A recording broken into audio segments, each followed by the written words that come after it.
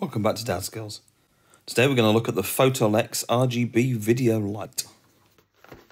Dad skills, dad skills, dad skills, dad skills.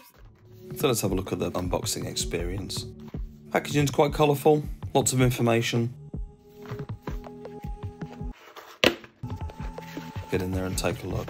Lots of bits and pieces in there, well packaged. So first of all, we've got some information about the website, the company,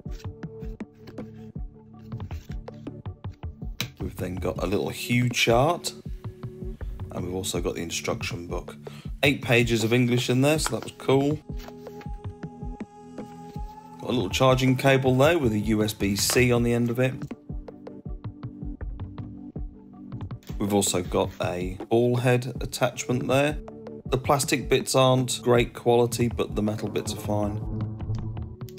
A bit lightweight, but the actual light is only lightweight. And then we've got a cold shoe attachment as well, which is looks quite good quality.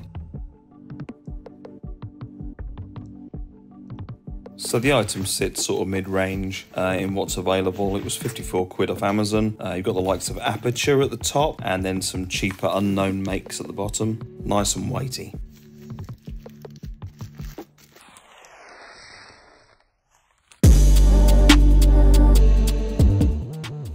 Alloy construction, got 135 LEDs, 45 for warm white, 45 for white, and 45 RGB. There's our space for our cold shoe attachment. There's also one on the short side.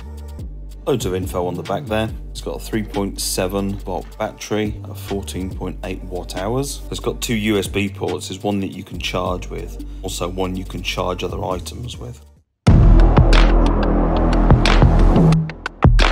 So don't do like I did and turn it on looking into it. It is really bright. I couldn't believe how bright this thing was.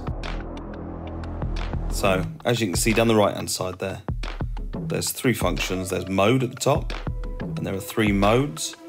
And as you can see at the moment, we're in just a, a white mode.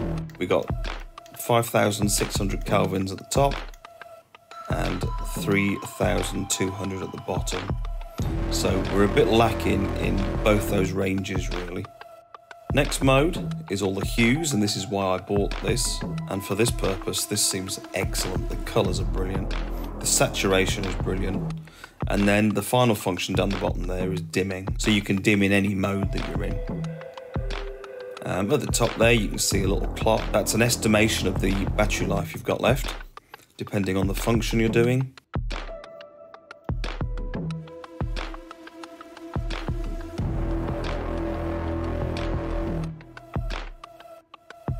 And you can see we're in mode HSI there in yellow. Uh, and that's basically hues, so that's RGB. And you use the function button up and down to run through the hues. And S is saturation, and that's 100%.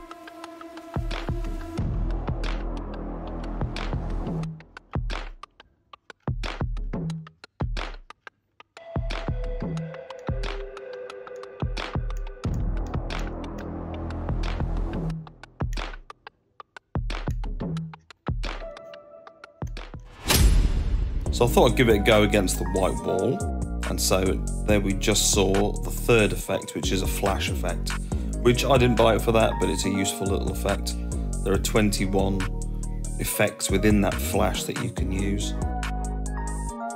Now trying to capture this with my camera wasn't that easy because the camera kept compensating for when I was changing the colour.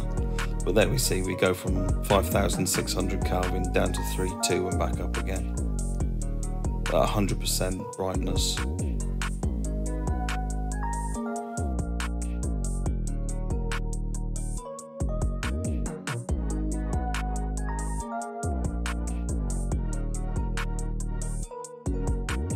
So back to the colours.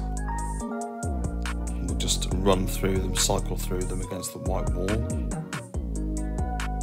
This is why I bought it, and I think I might buy another one. So I can have a sort of blue one side and a pinky red the other side, maybe just for videos. So this works really well for that. So would I recommend it? If you want those white ranges, then probably not. But but for the colour, certainly. Let me know what you use in the comments below, and I'll see you on the next one. Cheers.